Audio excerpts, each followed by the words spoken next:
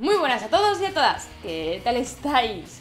Hoy traigo cositas muy interesantes, vamos a hablar de anuncios, voy a traer sorpresas y además vamos a establecer finalmente un debate muy interesante. Y no, no va a ser sobre los DLCs. ¿Queréis saber más?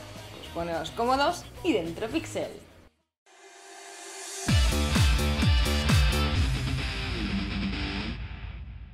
Empezamos el Pixel hablando del último lanzamiento de Koei Tecmo.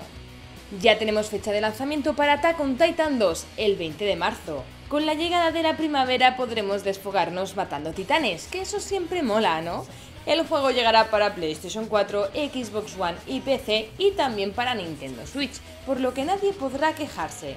Con este nuevo anuncio nos han traído un nuevo tráiler de lanzamiento en el que podemos ver a los personajes que formarán parte de este nuevo título de la saga, como por ejemplo Annie, Reiner, Bertolt, los titanes blindados y Colosal y además el titán femenino entre otros, también uno que se va a anunciar dentro de muy poquito, el titán misterioso. El título traerá mejoras con respecto al juego anterior, con mayor libertad de movimiento y más fiel al anime. Como ya os dije, este juego se va a basar en la segunda entrega del anime del título de Attack on Titan, así que es recomendable que lo veáis antes de jugar el juego. Aunque si no seguís la serie ni os mola el anime ni tenéis ganas de seguirlo, supongo que bueno, tampoco hará mucha falta porque tendrá su propia, o sea, contará su propia historia, quiero decir, así que bueno. Si os queréis enterar de más detalles, pues sí que os recomendaría ver la serie, pero si no, yo creo que con el juego es más que suficiente. Cambiamos de tema para hablar de los Game Awards.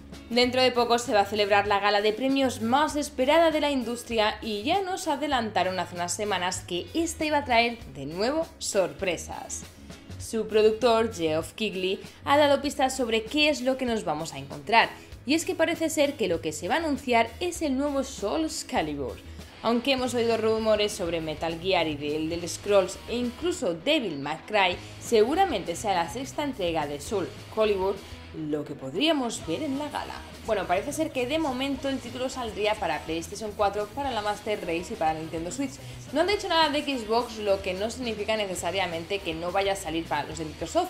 Así que bueno, no adelantemos acontecimientos y esperemos que la gala está muy cerquita. Y para acabar el pixel de hoy vamos a acabar con un debate, como nos gusta.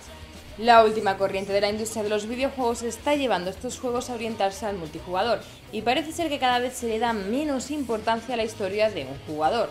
De hecho, no hace mucho la misma Electronic Arts usó esto como excusa para cerrar Visceral Games. Y es que parece ser que según varios estudios los lanzamientos multijugador son los que más recaudación se llevan, salvando algunas excepciones, claro está. Y muchas de las compañías se están centrando en este tipo de jugabilidad. Eso sí, los juegos de un jugador no están muertos ni mucho menos, pero parece ser que poco a poco se están viendo opacados. Bueno, un tema interesante cuanto menos. Yo no creo ni mucho menos que se vayan a comer unos a otros, pero ¿qué pensáis vosotros? ¿Van a poder convivir los dos modos de juego? ¿Van a estar solo al final los modos de un jugador, los modos multijugador? ¿Se van a machacar y al final van a petar todo y nos vamos a quedar sin juegos?